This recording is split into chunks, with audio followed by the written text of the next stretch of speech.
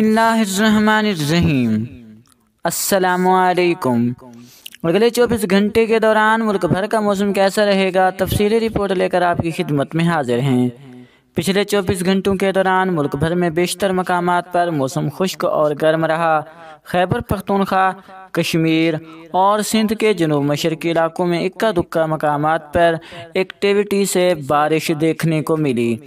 بحیرہ بنگال کے شمال میں موجود ہوا کا شدید کم دباؤ بھارت کے مشرقی علاقوں پر اثر انداز ہو چکا۔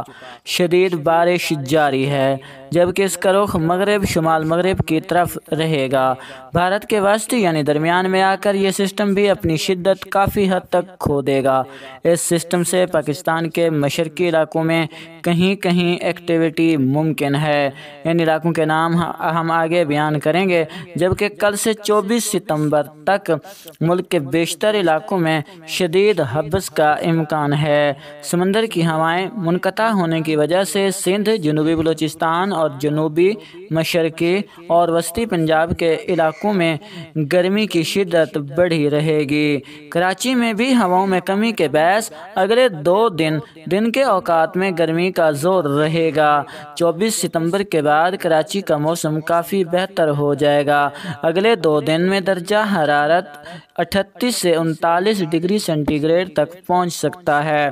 اگلے چوبیس گھنٹوں کے دوران درجہ حرارت ملک کے وسطی اور جنوبی علاقوں میں انتالیس سے بیالیس ڈگری سینٹی گریڈ تک رہنے کا امکان ہے، مگر درجہ حرارت محسوس پینتالیس سے پچاس ڈگری سینٹی گریڈ کے درمیان میں ہو سکتے ہیں۔ اگلے چوبیس گھنٹوں کے دوران ملک کے اکثر علاقوں میں موسم خشک رہنے کا امکان ہے۔ خیبر پختونخوا اور کشمیر میں اکا دکا مقامات پر اور ننگر پارکر مٹھی، عمرکوٹ، اسلام کوٹ اور آس پاس کے علاقوں میں بھی اکا دکا مقامات پر۔ سارے علاقوں میں نہیں، صرف اکا دکا مقامات پر ایکٹیویٹی سے بارش ہو سکتی ہے۔ جنوبی پنجاب کے تمام علاقوں میں موسم خشک رہنے کا امکان ہے۔ کوہ سلمان اور کوہ کیر تھر بھی، کیر تھر پر بھی لوکل ایکٹیویٹی سے کہیں کہیں بارش ممکن ہے۔ کسان بھائی اپنے معمول کے کام جاری رکھیں۔ چوبیس سے پچیس ستمبر، مشرقی پنجاب کے علاقوں Narowal Zafarwal, Sialkot, Lahore Wah Cantt Kasur Wagah Bahawalnagar Vehari Lodhran Hasilpur fort آباس Derawar ڈونگا بونگا Harwan آباد اور پاک پتن کے علاقوں میں بادل بننے اور کہیں کہیں بارش کے امکانات موجود ہیں۔ بارش وائڈ سپریڈ نہیں ہوگی۔ اس کے علاوہ خیبر پختونخوا، گلگت بلتستان اور کشمیر کے شمالی علاقوں میں بھی ہلکی برف باری اور ہلکی بارش کا امکان موجود ہے۔ ملک کے باقی دیگر علاقوں میں فی الحال اگلے دس دن تک خاطر خواب بارش متوقع نہیں۔ موسم زیادہ تر صاف اور خشک رہے گا۔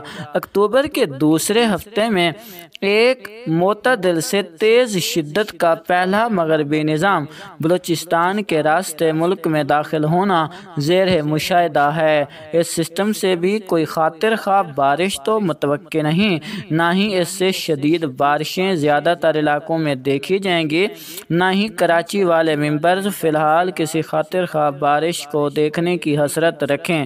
مگر اس سسٹم کے آنے سے انشاءاللہ ملک میں سرد ہواؤں کی انٹری ہوگی۔ ملک کے مغربی اور شمالی علاقوں میں سردی کا باقاعدہ آغاز ہونا ممکن ہے، جبکہ جنوبی علاقوں میں بھی رات میں خنکی کافی حد تک بڑھ جائے گی۔